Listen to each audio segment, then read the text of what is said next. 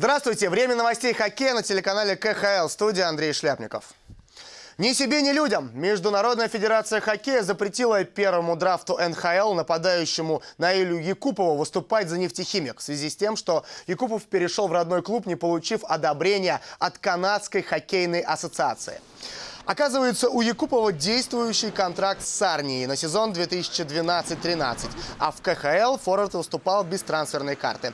Кроме того, Федерация хоккея России оштрафована на 5000 швейцарских франков. По всей видимости, Якупову придется играть за Сарнию, если ФХР не урегулирует вопрос с Хоккей Канада. Напомню, что за нефтехимик Якупов сыграл только два матча. Позицию КХЛ по данному вопросу прокомментировал директор по организации и проведению проведению спортивных мероприятий лиги Дмитрий Курбатов. У нас поступило письмо из э, Федерации хоккея России о том, что Международной Федерацией инициировано э, разбирательство относительно трансфера Наиля Якупова в нефтехимик. Вот. Но до, до того времени, когда это разбирательство будет закончено, будет вынесено какое-то решение, мы в соответствии с э, э, правилами международных переходов и ХФ обязаны э, запретить игроку играть, то есть отстранить его от игр. Что, собственно говоря, и было сделано. Вот. А, как всегда, тонкости, они э, кроются в деталях, то есть идет определенная разница позиций относительно статуса игрока по отношению к клубу НХЛ, КХЛ, по отношению к клубу юниорскому, которым у него был контракт. Ну, я думаю, что в ближайшие там неделю этот, э, это разбирательство будет закончено, какое-то решение будет принято. Мы также продолжаем следить за судьбой хоккеиста молодежной сборной России Николая Прохоркина, который, имея действующий контракт, не явился в расположение ЦСКА и подписал контракт с клубом НХЛ Лос-Анджелес Кингс. За прошедшие две недели с момента отъезда форварда ситуация коренным образом не изменилась. Идет переписка относительно тоже его статуса. Игрок и его родители оспаривают действенность контрактов, которые были подписаны здесь.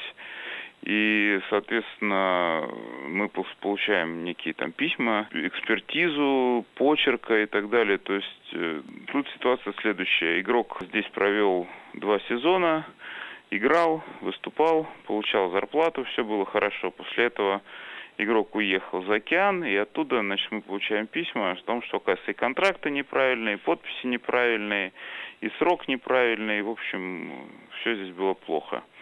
Вот, естественно, что тут наша позиция более такая жесткая. Если у игрока и у агента, у родителей были претензии, они могли их предъявить здесь. Вот ситуация немножко другая. То есть сначала уехали, а потом пишем письма. Нападающий Алексей Крутов, перешедший из Атланта в нефтехимик, вчера был заявлен за новый клуб. Также в среду форвард провел первый матч за нижнекамскую команду. Соперником коллектива Владимира Голубовича был автомобилист. Равная борьба в этом матче получилась только в первые 40 минут, а вот в третьем периоде хозяева смяли соперника, забросив три шайбы. В итоге 4-2 нефтехимик третий на Востоке. До отчетного поединка минские динамовцы потерпели пять поражений подряд. В кулуарах уже начали поговаривать об отставке Кари Хейкеля. Дескать, сейчас минчане еще один матч проиграют, и все пиши пропало. Признаться честно, в победу динамовцев в Хабаровске верилось с трудом, ведь Амур на своем льду играет очень прилично. Однако гости сыграли в этом матче за себя и за своего наставника. Счет в игре открыли хозяева, однако затем гости трижды забросили в большинстве. В первом периоде отличился Степлтон, а во втором отрезке точными попаданиями отметился Лайне и Стась. Хозяева бросились вперед. У хоккеистов Амура было предостаточно шансов на то, чтобы спасти матч. Однако гости выстояли и заработали три очка, которые помогли им подняться с предпоследнего места на Западе.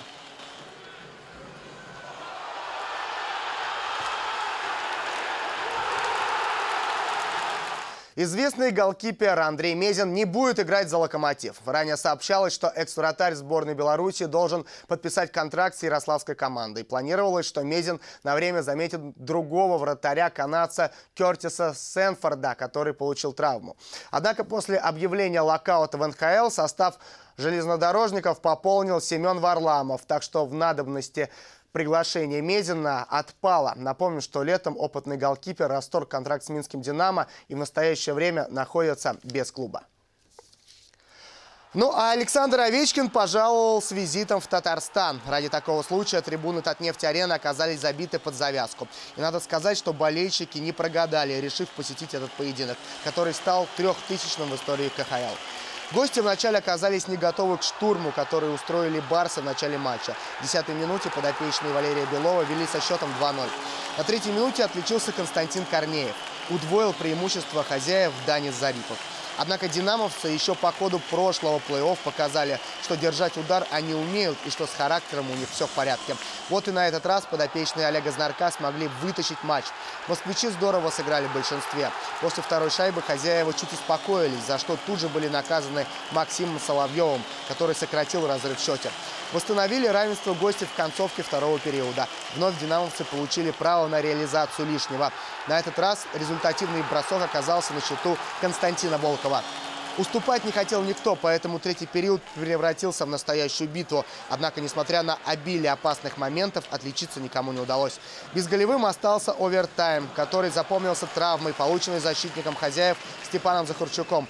Хоккеист не смог самостоятельно покинуть лед. Зрители пребывали в ужасе, однако Степан настоящий боец. Когда его увозили с площадки на носилках, он известным шестом а-ля «Терминатор» сумел успокоить болельщиков. В итоге доигрались до булитов. Динамовцы реализовали все три свои попытки, а вот хозяева дважды не смогли переиграть Александра Еременко. Мастерски исполнил свою попытку Александр Овечкин 3-2 «Динамо». Нападающий Филадельфии Клод Жиру в ближайшее время может оказаться в одном из клубов КХЛ. Игрок не раз заявлял о своем желании продолжить карьеру в Европе. Мне уже поднадоело просто тренироваться. Я хочу играть в хороший, качественный хоккей, цитирует Жиру Атава Сан. Напомню, что именно Клод Жиру является официальным лицом игры НХЛ 2013. Кстати, не исключено, что Жиру появится в Словане, который накануне играл против Югры. Этот поединок стал одним из самых зрелищных в этом сезоне. С самого старта команды, словно забыв об обороне, начали играть в открытый хоккей. И надо сказать, что зрителям, собравшимся на трибунах Ледовой арены в Братиславе, такое зрелище пришлось по вкусу. Первый период остался за гостями. Ситников и Хлынцев отличились по разу. Во втором отрезке уже настал черед хозяев, которые также дважды усилиями Олветски и Миклика огорчили Бирюкова. В третьем периоде команды обменялись шайбами. В итоге ничья в основное время и булиты, в которых больше повезло хозяевам. 4-3 после трех поражений к ряду Югра зарабатывает первое очко.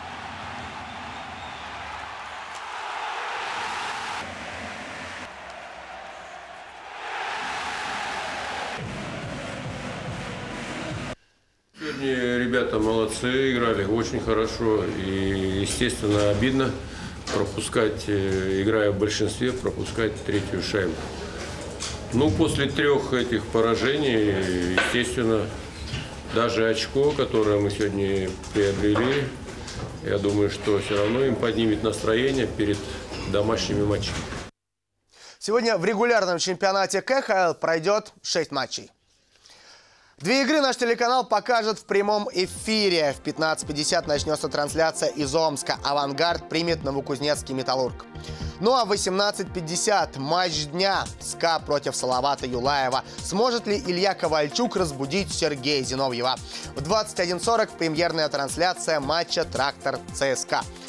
Уже сегодня может состояться дебют Ильи Брызгалова в КХЛ. Ну и в час 10 для тех, кому не спится «Торпеда Донбасс».